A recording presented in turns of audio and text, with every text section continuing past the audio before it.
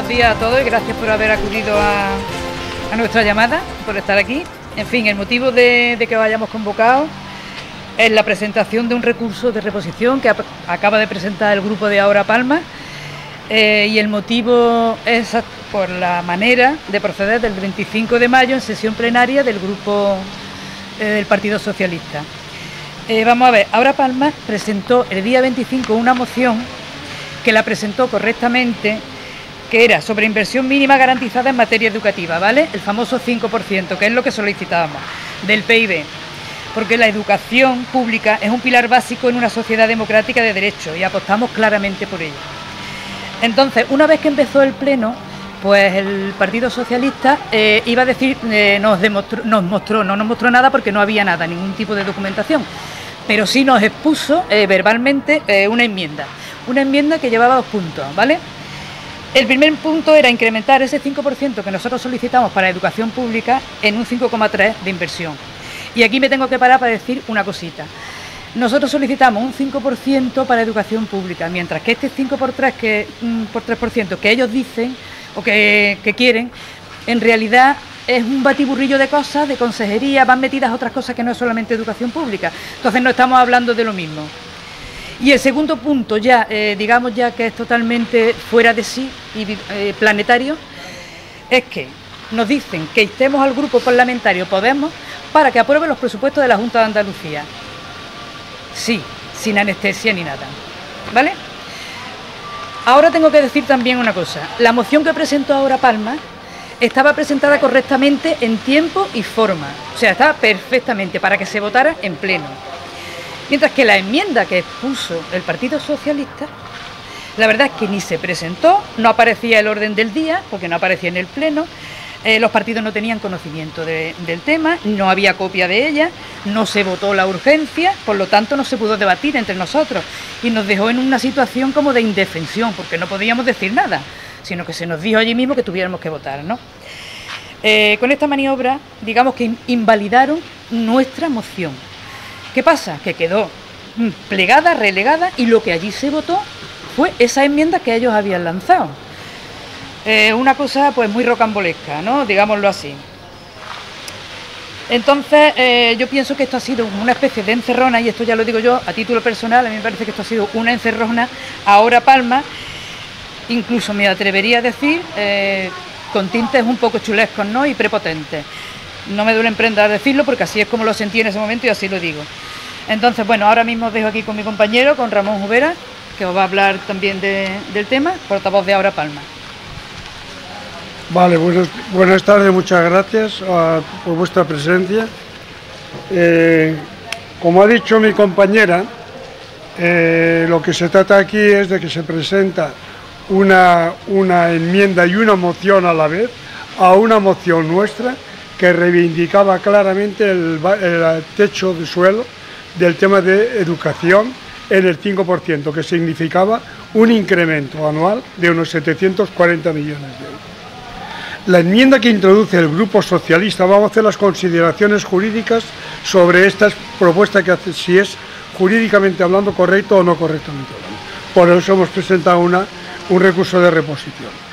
La enmienda introducida por el Grupo Socialista no es en realidad una enmienda, sino que es una moción sobre una materia que no, como ha dicho Luisa, no incluida en el orden del día del Pleno, que se debe hacer en, forma y en tiempo correcto. Por tanto, instar a que en la propia moción que incorpora, a que de forma incondicionada se puedan presentar la aprobación de los presupuestos a Susana Díaz del año 2018 nos parece que es eh, un, canto a un clientelismo y a que todos los partidos obedezcamos presupuestos de forma incondicional que va a presentar Susana Díaz en el año, para el año 2018, del que por cierto no se conoce todavía ni borrador. De ahí que generó en alguna medida el propio malestar de los propios grupos políticos, porque en realidad no sabíamos que estábamos votando. Si se hubiera adoptado solamente la enmienda en el sentido de apoyar al 5,3%, el debate hubiera estado ahí. Pero cuando incorpora una moción a la propia moción nuestra, incorporando en la instancia incondicional a apoyar los presupuestos, estamos incumpliendo elementos de ley. ¿Cuáles son estos elementos de ley que se están incumpliendo? Pues en primer lugar el artículo 83 del Reglamento de Organización y Funcionamiento del Ayuntamiento. En segundo lugar, al incorporar esta moción a la moción nuestra, que no estaba contemplada en la orden del día, se está incumpliendo también el artículo 22 de la ley 1214 de transparencia pública de Andalucía, que exige la publicidad previa del orden del día, cosa que en este caso no no se hizo. Si bien pueden presentarse enmiendas que modifiquen el acuerdo dentro de la materia, a tratar siempre que se presentan antes del inicio del debate, como prevé el artículo 97.5 del ROF. Es decir, lo que tampoco se hace en este caso. Se debería haber presentado previamente la enmienda que se hacía.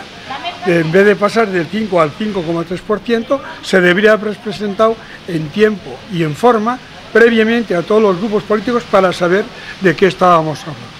Por tanto, también ahí se conculcó el tema. La materia prevista en el orden del día de instar la modificación ley 17-2007 para invertir para el tema del PIB se fue altamente modificada por el tema de la instancia a que el Pleno se pronunciara en la aprobación incondicional a los presupuestos del Estado. Y hay por último algunos elementos eh, que también están contemplados en la propia, en la propia Constitución. ¿eh? El artículo 23, si no, si no recuerdo, la materia a tratar era el apoyo a políticas educativas y, y la posible reforma de la ley de educación para garantizar un mínimo de inversión no cabe dentro de este orden del día. Como elementos claves que muestran que se trata de una materia diferente, basta ver el vídeo de confusión en que se quedaron todos los concejales al saber realmente de lo que nos se hablaba.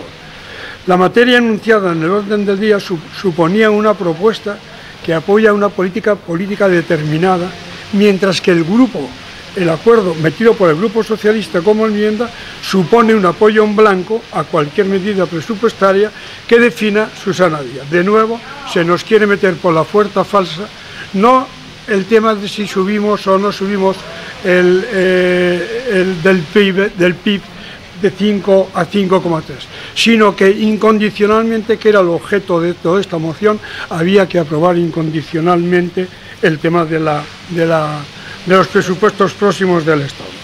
Eso conculca el artículo 83, como digo, del reglamento, conculca el artículo 93.5 del ROF y al mismo tiempo está conculcando de forma importante el artículo 23 de la Constitución Española del 78, al impedir el derecho al ejercicio pleno de las funciones de los concejales, el derecho a proponer un punto de orden del día y que del Pleno debate y vote de un asunto concreto. No debería votar sobre algo que no estaba en, en el orden del día.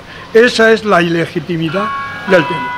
Eh, hay sentencias del Tribunal Supremo, del Tribunal Superior de Justicia de Andalucía, que confirma también en el contencioso administrativo este recurso, el 262-2014.